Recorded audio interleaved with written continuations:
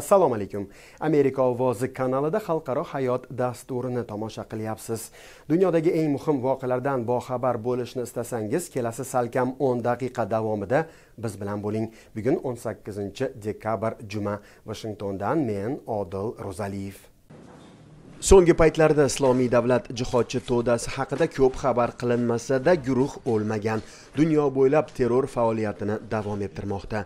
Suriya afg'oniston iroq afrika va hatto yevropada xurujlar uyushtirib turibdi. Bir yil oldin aqsh prezidenti donald tramp daish mag'lubiyati. Suriya va iroqda katta hududlarni boy bergani haqida e'lon qilgan edi. Joriy yilda jihodchilarga aloqador va xayrixoh odamlar fransiya va avstriyada begunoh insonlar hayotiga zomin bo'ldi.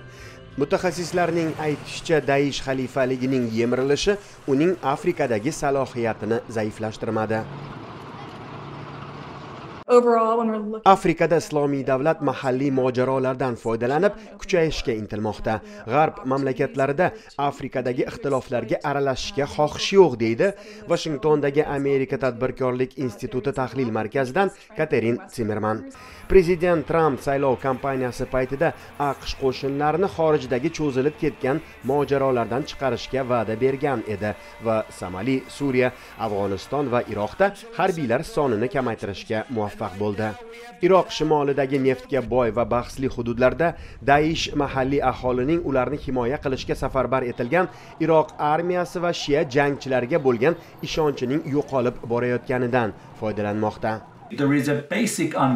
Iroq xavfsizlik va adliya tizimlarida ildiz otgan korrupsiya va layoqatsizlik tufayli bu hududlarda daish harakatlari uchun sharoit mavjud deydi pensilvaniya universitetida islomiy davlat to'dasi bo'yicha mutaxassis muhammad solih. 2020 yilda aqshda jihodchilar va radikal musulmonlar tomonidan birorta xuruj amalga oshirilmadi. Ammo yevropada 2019 yilda bo'lgani kabi xurujlarda kamida 9 odam o'ldi. Aqshda prezidentlikka saylangan jo bayden prezident donald trampning ko'plab qarorlari va xususan immigratsiyaga doir siyosatini o'zgartirishi kutilmoqda. Prezident trampning farmonlar orqali qabul qilingan bir tomonlama qarorlarni bayden o'z farmonlari bilan bir tomonlama bekor qilishi mumkin. Masalan ayrim musulmon mamlakatlar fuqarolarining aqshga kirishini taqiqlovchi farmonni yoki yangi qochqinlar soniga qo'yilgan cheklovni deydi merilend shtatidagi yuridik kompaniya huquqshunosi morin svini prezident tramp bolaligida noqonuniy yo'l bilan keltirilgan muhojirlar deportatsiyasini kechiktiruvchi. Sobiq prezident barak obama paytida qabul qilingan daka dasturini ham to'rt yillik prezidentligi davomida yopmoqchi bo'lib inson huquqlari faollari noroziligiga uchradi. Tramp nazarida dastur mamlakatga noqonuniy kirganlarni afv etishga qaratilgan. Biroq agar kongress ularni qonuniylashtirishga rozi bo'lsa tramp e'tiroz bildirmasligini aytdi. Ammo kongress tegishli qonun qabul qilmadi va minglab odamlar taqdiri sudlar hukmiga havola etildi. Sudning eng so'nggi qaroriga ko'ra immigratsiya idoralari dasturga to'liq amal qilishi kerak ammo daka tanqidchilari sudga yangi da'volar yo'llashini bildirmoqda. Immigratsion qonunlarni o'zgartirishga vaqt ketadi. Tramp ma'muriyatining siyosiy boshpana olishga da'vogarlarga doir siyosatini tuzatish oson bo'lmaydi deydi morin svini meksika bilan chegara nazoratini kuchaytirish hamda noqonuniy immigratsiya oqimini to'xtatish siyosati doirasida tramp migrantlar himoyasi protokoli degan qoidani joriy etdi.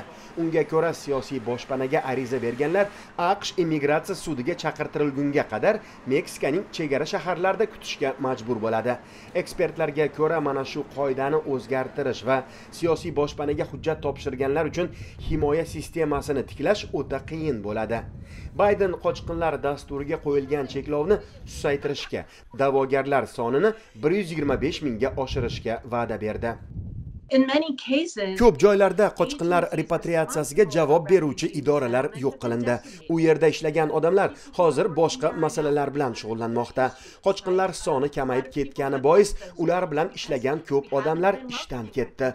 Bu idoralar ishini tiklash salohiyatini oshirish kerak deydi jorj meyson universitetidan mishel vaslin tahlilchilarga ko'ra bayden prezidentligining ilk oylarida asosan koronavirusga qarshi kurash va iqtisodiyotni tiklash bilan shug'ullanadi. Immigratsiyaga katta e'tibor bermasligi mumkin saudiya arabistoni aqsh va britaniya ketidan pfizer va biontech kompaniyalari koronavirusga qarshi ishlab chiqargan vaksinani aholiga taklif eta boshladi. Mamlakat sog'liqni saqlash vaziri tavfiq al rabiyaning aytishicha vaksinaning xavfsizligiga shubha yo'q. Qirollikning 34 million aholisi bepul ravishda emlanadi. Birinchi navbatda tibbiy xizmatchilar yoshi 65 dan ulug'lar salomatligi zaif jumladan servazn insonlarga xizmat ko'rsatiladi. Vazir mamlakatga qancha vaksina yetkazilganini aytmadi biroq bir yil ichida aholining kamida 70 foizi emlanishi ma'lum. Saudiya arabistonida 360 mingdan ziyod koronavirus bemori qayd etilgan. Salkam 6100 odam o'lgan. Isroilda 19 dekabrdan boshlab aholi koronavirusga qarshi emlanadi. Biroq isroil istilosidagi g'arbiy sohil va g'azo sektorida yashovchi falastinliklar bunday imkoniyatdan mahrum.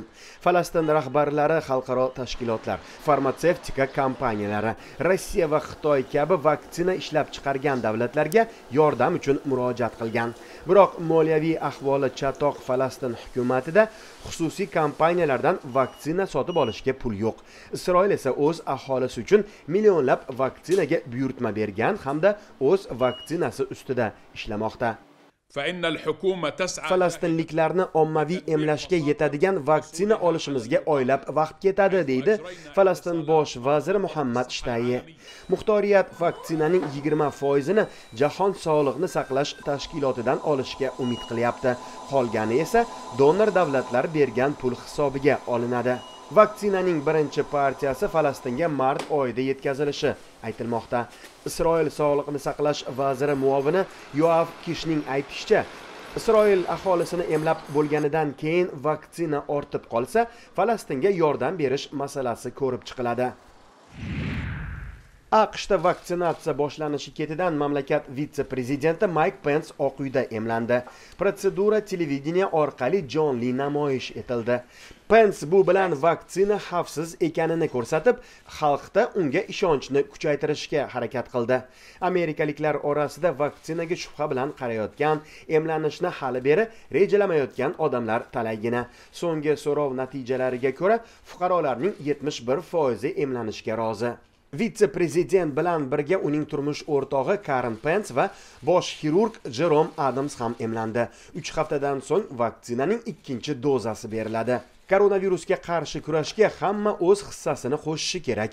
Ogoh bo'ling va emlaning dedi pens prezidentlikka saylangan jo bayden kelasi hafta emlanishni rejalagan. Bo'lajak vitse prezident kamala harris ham vaksina olishga rozi bo'lgan.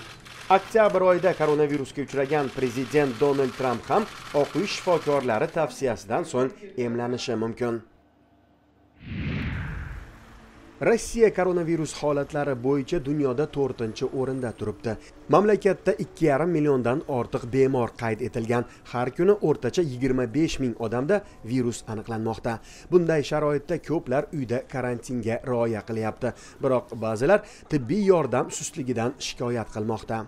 Infeksiya tarqalish sur'atining oshishi natijasida mamlakatda sog'liqni saqlash tizimi qiynalib qolgan. Masalan sentyabr oyida sibirning irkutsk oblastida har kuni o'rtacha sakson odamda koronavirus qayd etilgan. Dekabrga kelib kasallanish hollari uch baravar ko'paydi. Klinikalarda transport yetishmasligi oqibatida ko'p hollarda shifokorlar kasallarni uyda ko'rish uchun piyoda yuradi. Natijada tibbiy yordam yoki maslahatga muhtoj bemorlar uzoq kutishiga to'g'ri keladi.